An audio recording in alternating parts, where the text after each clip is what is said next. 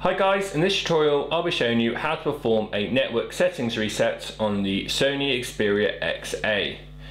Now you may find that in some cases some problems start arising with your device. Things like your Bluetooth not working, your Wi-Fi not connecting properly, they're small issues.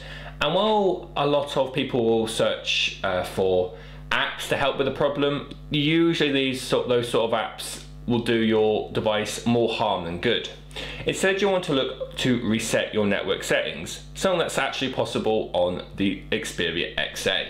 To do this, we open up the app drawer and select settings. From there, we're scrolling down and we're looking for the backup and reset option. From there, we're scrolling down again and we want to select network settings reset. As you can see, this will now be the final menu we see. So at the top, it will show you the uh, options it's going to reset. So, um, for example, when you when this is done, you'll need to reconnect to your Wi-Fi and enable Bluetooth.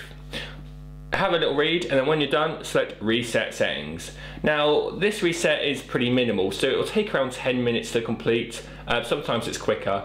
Uh, and I say once it's done, your phone will go back to your home screen, and you'll just need to reconnect to your Wi-Fi and such.